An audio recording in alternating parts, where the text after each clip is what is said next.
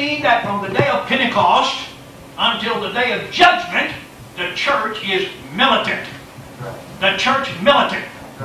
In the day of judgment, the church will become the church triumphant. The glorious church. There is no rest. There's not a moment's rest as long as we're up on this earth for the church of the Lord Jesus Christ. We cannot sit back on our laurels.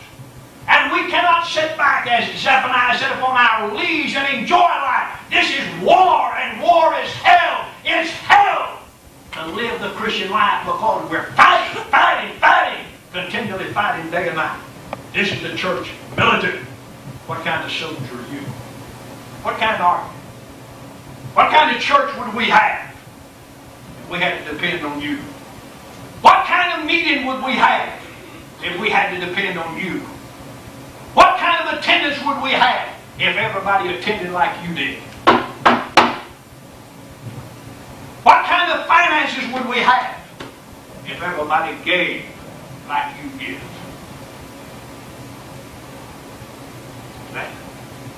What kind of knowledge would we have if everybody studied like you studied? I ask myself all the time, what kind of preaching would we have if everybody preached like you preach?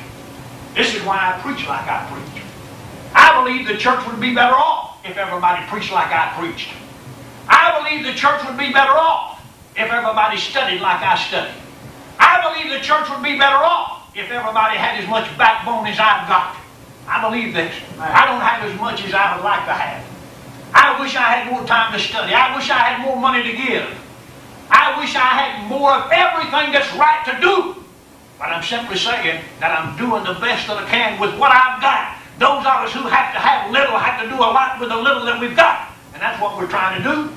And when these people who have a lot do a little or do nothing with what they got, it's a sad day in the history of the church. And no wonder, ladies and gentlemen, that the Israelites had so much trouble. They wouldn't have had any trouble. They wouldn't have wandered and lost all those people for 40 years at the very outset if they'd have walked in and taken it like God said. You can take it. But 10 of them were sniveling, whining, coward. And they came back and said, We can't take them. They're giants. We're afraid of them. We can't take them.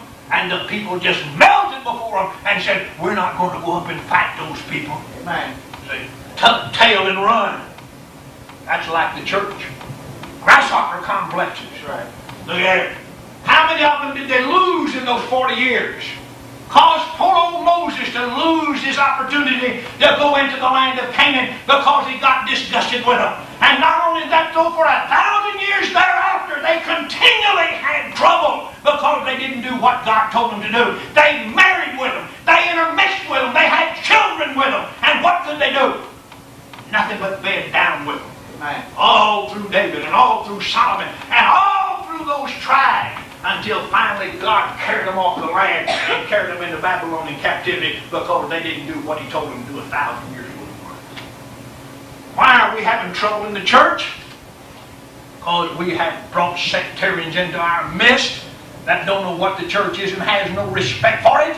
And they have muffled and stifled and shut the mouth of preachers.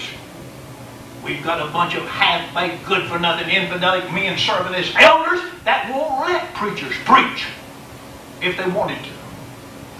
We're not going to have it. I've been called in. I know. I can understand these little fellows that are maybe not as bold as I am. These fellows call you back and say, now, Brother Rudd, we're not going to have that kind of talk. You're not going to preach this and you're not going to preach that. You don't tell Don Rudd what to preach wasting your time. See? Rather if we're going to fight for God Almighty, if we're going to be a soldier of God Almighty, we've got to have. We've got to have faith. Why do we stand? Brother Rudd, where do you get your boldness? Where do you get your strength? Why are you not afraid? I hear you say all the time, and I believe it because I've watched you. You're not afraid of the devil. How come you're not afraid of him? Because I've got a shield around me. Just like Paul said, I've got a shield of faith. A person who believes what he's doing, you've heard me say, you can spit on him, you can ridicule him, You can make fun of him. You can pelt him with rocks. You can throw rotten eggs at him. You can hit him and, and spot his suit with rotten tomatoes. You can cut the tires on his top car. You can throw him in prison. You can shackle him. You can kill him. But you're not going to close his mouth. Rather, there was a time right here in Nashville, Tennessee, when our preachers came in here to hold a meeting, that they were pelted with rotten eggs. I know preachers personally that stood right here in Davidson County and these surrounding areas preaching the gospel that when they turned their heads, they were hit on the side of the head with a rotten egg. I know preachers that went out after the services at night to get into the car and find out that all four of their tires were slashed on their car. I know out in Texas and Oklahoma when we began to evangelize that those old ruffies and rowdies out there would ride up with their horses and rope the poles of tents and pull those uh, tent poles out and the whole tent collapsed right on the audience and those preachers. I know all about it. That's the kind of preaching we used to have. I never will forget old Brother Barrett went out into Indian Territory, the last haven of the outlaws. I'm talking about Oklahoma. He walked up in the pulpit, reached in his pocket, he didn't pull out a watch. Reached over in this pocket, he didn't pull out a New Testament. Reached in this pocket and he pulled out a loaded six gun. He laid it right there. Reached in this pocket and he pulled out another and laid it right there. Two loaded pistols. He said, I've come to preach. I intend for you to listen to me.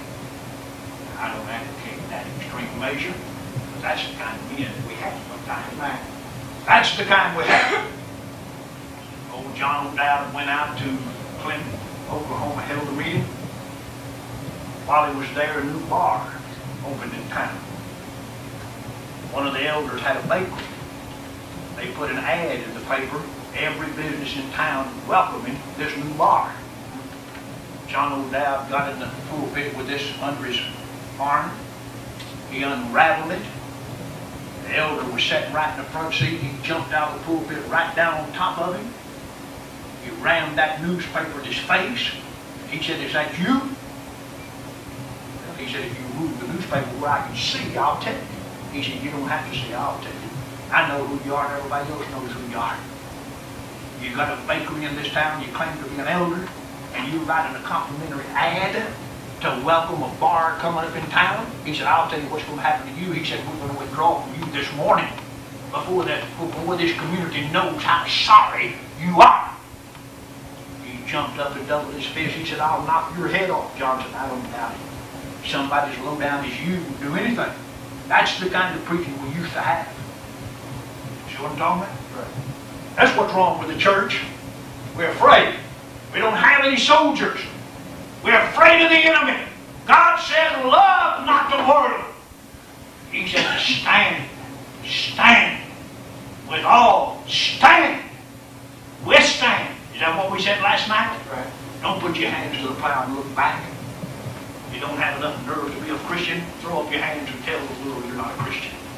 You don't intend to be a member of the church and stand up for the church. Get out of the church. Get in or get out. Get on or get off. This is what Elijah said on Mount Carmel. I'm tired of fooling with you people. He says, I don't want you to get on one side or the other. If God is God, bow down to it. If Baal is God, worship him. When he got through, he beheaded 850 of those false prophets. I saw so many pussy people come around here and tell me, Brother Rudd, I think you're just a little bit hard. The language you're using, you better be thankful to God that you're sitting under Don Rudd and not Elijah. That's it. God showed us how to take Jericho, but we couldn't take Ai. Jesus told us how to take care of the devil, but we can't do it. But Brother Rudd, I'm weak. I just can't stand. The devil's just after me all the time. No, I don't think the devil's after you. I think the devil's already got you. You know what I think? I don't think he's after you. He's got you. Right. You just wish to God that he was after you. That would make you feel a little bit good that he's after. you. No, he's got you. What could you do more for the devil than you're not doing right now? You're not giving. You're not attending services. You're not working. You're not praying. You're not teaching. You're not studying. Tell me what else you can do for the devil that you're not doing right now. See what I'm talking about? Preaching to me? I'm preaching to anybody that it hits. See that? Anybody that it hits. Brethren, we've been playing games too long. Why don't you repent of your sins and get yourself right right now? We got work to do. See, that was just a small thing. 50 by 100. We've got an entire world that we've got to conquer. I didn't even draw this world into sections of tribes, which are churches of the Lord, because we can't have churches until we've got individuals. Until I can get some individuals with some backbone, we can't build any churches. You see what I'm talking about? Let's conquer ourselves. How in the name of reason can I conquer somebody else when I can't even control myself? See that? How can you get out here and, and have the face and the spunk and the nerve and the gall to get up here and tell somebody else what they ought to do when you're not doing it yourself? At least trying to make an effort. And the audience this morning, your seventh invitation, while together we stand and sing. Invite you to come.